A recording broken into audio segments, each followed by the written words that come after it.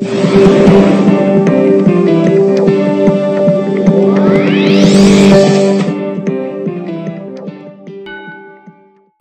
next scenario deals with a 2004 Toyota Prius base model with a 1.5 liter engine. Now, the Prius is a relatively new car, and this is a vehicle that you may not be very familiar with. You, may have never looked at one before.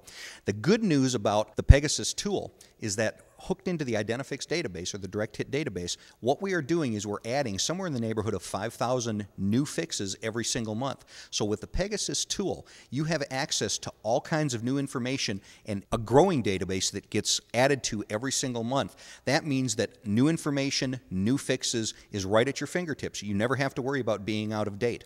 Very, very powerful. In this particular case, we've got a couple of codes stored with a check engine light on, a P1121 and a P1116. Both of these codes indicate a potential problem with the cooling system. So we're going to go ahead and do a search on the first code, the P1121, and see what we come up with.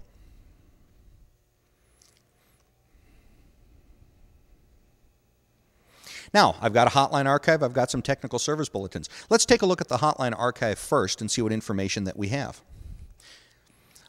2004 Toyota Prius, coolant flow control valve problems, and the codes match up to what we're dealing with, P1121, P1116. So let's take a look at what this hotline archive talks about. And once again, that's pretty small, so remember, we can always make this a little bit bigger.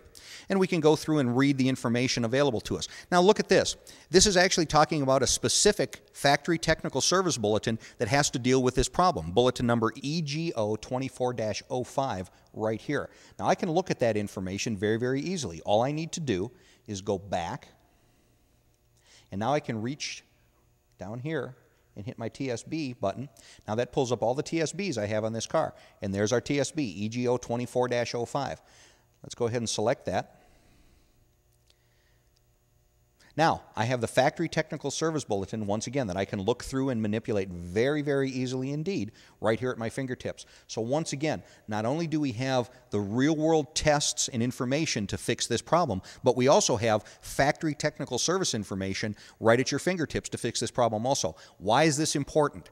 The last thing you want to do as a technician is get into a situation where you're making a repair that's under a warranty or under a recall or something like that for your customer. You always want to have that information right at your fingertips so you never charge a customer where they shouldn't be charged, and you're giving that customer the best possible information so that they can make an informed decision. Having these TSBs at your fingertip is absolutely key.